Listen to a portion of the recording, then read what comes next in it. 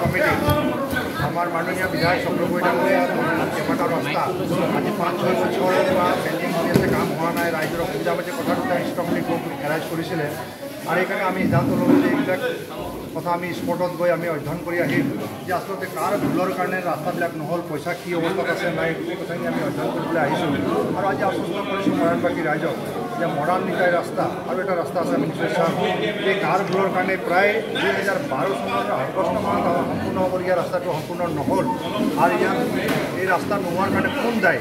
যদি ডিপাৰ্টমেণ্ট দায়ী আছে যদি ৰিটায়াৰ হৈছে তেওঁৰ বিৰুদ্ধে ব্যৱস্থা লোৱাৰ কাৰণে আমি চৰকাৰক আমি জনাম।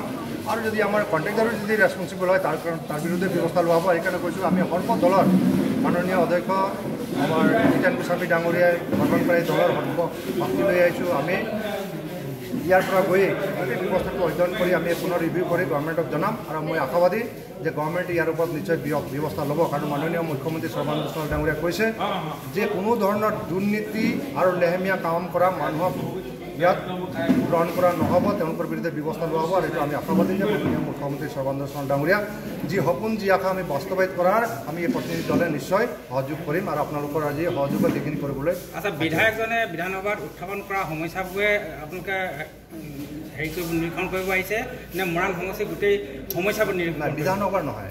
আমাৰ বিধানসভাত কেইবাটাও ডিপাৰ্টমেণ্ট আছে।